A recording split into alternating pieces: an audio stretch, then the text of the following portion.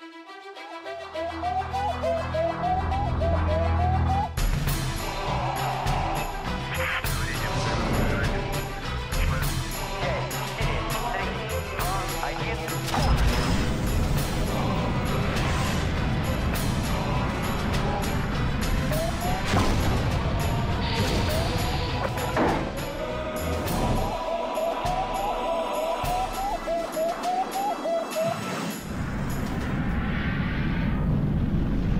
Welcome back to Sputnik. Matt and Nadine O'Connor are the public faces of one of the biggest civil rights campaigns in Britain, Fathers for Justice. Not that you'd know it if you followed only the so called mainstream media, still less if you were stuck inside the Westminster bubble. Politicians run scared of the idea that a child is entitled to both parents in their lives, prisoners of the mother is always right mentality. But mothers are not always right. Sometimes they're wrong, and even willfully so, playing out their anger, justified or otherwise, towards the father, irrespective of the impact on the children's well being. Feckless fathers abound in Britain, men who walk out on their children again and again. But millions of fathers are desperate to be closely involved in their children's lives and are precluded by the family courts system from doing so. It is a Gordian knot Trying to unravel it is Matt O'Connor, and he joins us now. Matt, thanks for coming on board you, the Sputnik. Before we move on more specifically to your field, it's not tangential, I would argue, the extraordinary decision of the Supreme Court this week to allow a woman, more than 20 years after their divorce, to file a claim for a financial settlement against the man they finally divorced uh, more than two decades ago? Or do you think it is tangential? Well, it is. It's uh, absolutely wrapped up in the whole um, approach that the uh, legal system takes to men and to fathers, which is effectively uh, George, is to is to reduce us to the status of cash points. It's like going out on a Saturday night and, and putting your card into a machine and the cash just keeps coming. I mean, it, it's a dream scenario. Um, but it, it, reflects badly, I think, this judgment on the British justice system. Uh, it's, it's an outrageous judgment, even by their own pitifully low standards. It basically says that this guy is a cash point not just when he was married, but a cash point for life. And this is a woman who is a, grown woman, clearly can look after herself, clearly can be responsible for herself, clearly can provide for herself. She has no dependencies. So this is a very serious and worrying judgment. I think a lot of men will be running scared now and very, very concerned that this basically opens up some serious doors and to potential future claims. It's a slight infantilization of women, isn't it? Uh, the idea that yeah. in uh, the 21st century, uh, for decades after uh, the marriage has ended, that somehow they're dependent upon a man and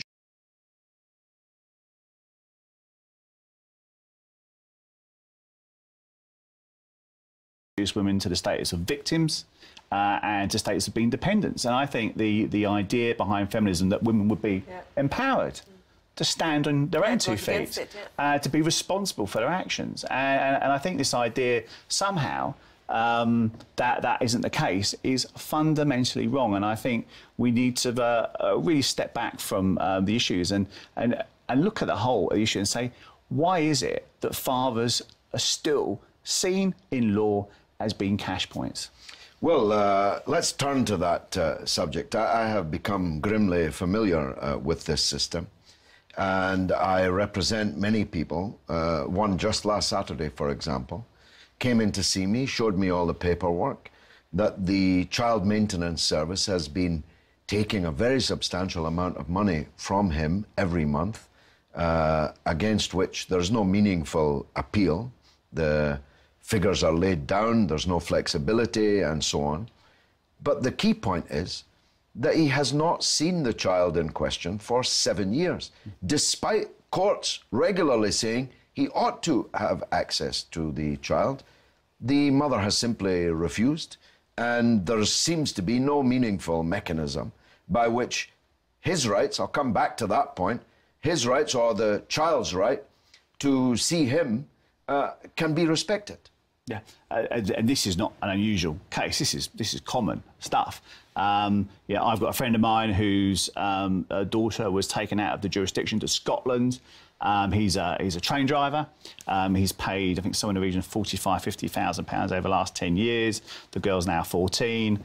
Uh, and and it's an outrage. I've got another friend of mine who who has spent over fifty thousand pounds trying to see his daughter um, to get court orders are enforced. The CSA comes along, cleaned out his bank account, taken his money, threatened to take his passport, took his driving licence. They have quasi judicial powers, the CSA or the Child Maintenance Service, as they now call it.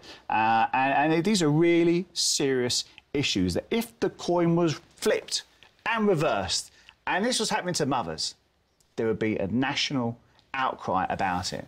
And that's our point about this, is the, the gender apartheid that applies to people like me because basically we're white, we're male, that somehow um, we're at the top of the tree. Whereas in reality, as uh, the author Warren Farrell said, there is a glass cellar. Uh, where where men are kept uh, because if you look at it, you look at it, we have um, we, suicide is the biggest killer of men under the age of 45. We're more likely to be homeless, uh, more likely to be unemployed, more likely to be subject to violence, more likely to be incarcerated, and more likely to be murdered. Uh, on, on many, many, many levels, men and the issues related to men and men's health uh, just really aren't paid any due serious attention by our political classes. And it is uh, indeed uh, ironic. Let me, though, go back to a dichotomy I glanced at in my last question. It is the fundamental principle of the Children's Act that it's the children that has rights, not the parents.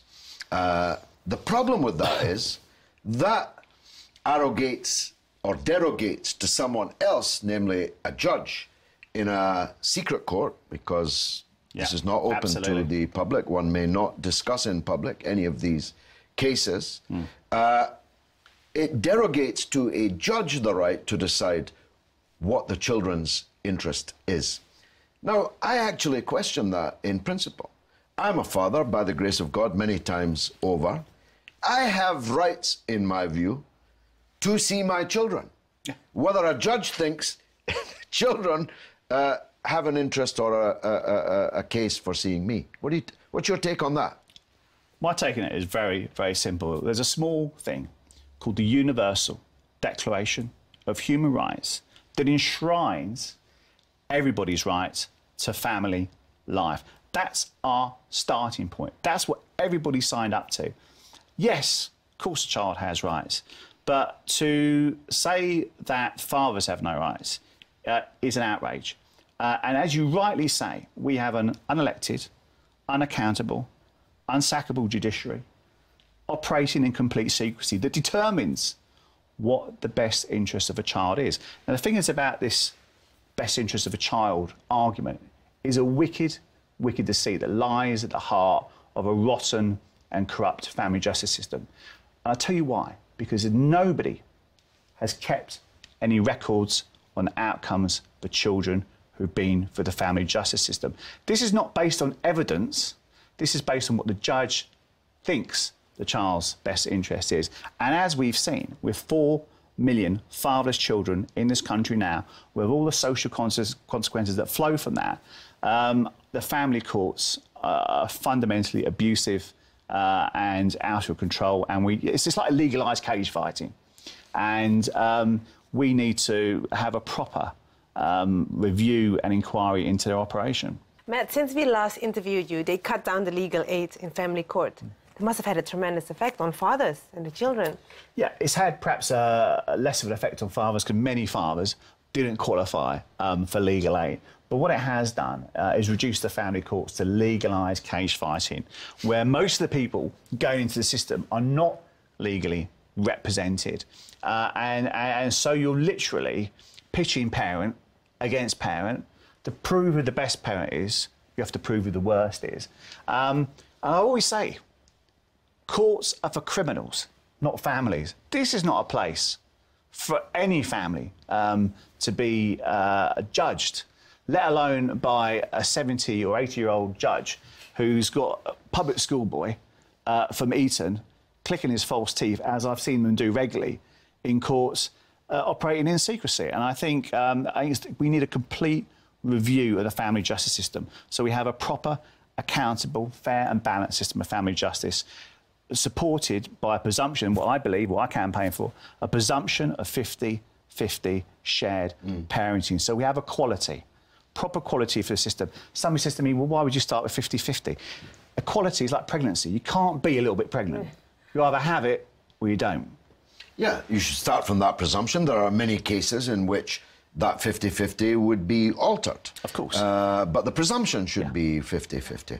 By the way, the cuts in legal aid uh, issue is worse, if I may say so, than you stated, because the one criterion that you still can get legal aid is if you allege that there has been domestic violence. And mothers who claim there was domestic violence get legal aid. So you have a situation where my constituents, sometimes inarticulate, sometimes uh, undereducated, certainly underqualified, are up against qualified and polished barristers who are being paid for by the state, but the father is there left to his own uh, devices. How unfair is that? Yeah, uh, but that was always the case to some extent. It was always a case where you, a mother, would qualify for legal aid um, if you tick the box that says there's been abuse. Now, the thing is, um, with the domestic violence lobby, um, abuse these days can constitute financial abuse, which is dispute over credit cards, emotional abuse, arguing in the car about where you're going on the map, you know, arguing discussions like that. Uh, so it's not just relates to violence, but also every father is now risk assessed. So CAFCASS, the mm. Court Welfare Service, collect soft evidence, which is yeah, arguments in the household between mother and father, and hard evidence, which is if there's been police reports or complaints to the police. But every father is risk assessed because they say where it is safe to do so. Contact can take place where it's safe to do so. So the presumption George, is that you and me are inherently dangerous to our children. And that assumption doesn't apply to mother. It doesn't apply to mother's new boyfriend. It is yeah. grotesquely unfair and prejudicial based solely on our gender. Don't get me started on CAFCASS. Matt O'Connor, Fathers for Justice. I salute you. Pleasure. And now it's your turn to tell us what you think through the portals of social media. What's rattling, Gayatri? Well, in response to Nigel Farage's outrageous comments on racial discrimination in the working uh, place, uh, Marcia Brown responds, just another hairball policy belched out to satisfy the knuckle draggers. When I uh, put out the article about the woman um, getting the... The right to sue on the divorce? Yes, by the Supreme Court lots of responses. Most of them agree that it's not really fair. Both men and women, by the way. Craig Hill says, after 20 years since he remarried, going to be an open season for any woman to take ex-husbands to courts wanting payouts. And that's all that we've got time for this week. Which, alas, means that's the end of the show and almost the end of the Sputnik. Join us next week for the very last orbit. Why? Stay in touch with us on Twitter, RT underscore Sputnik, or Facebook, Sputnik on Russia Today. It's goodbye from me, Gayatri. And from me, George Galloway. It's been marvellous.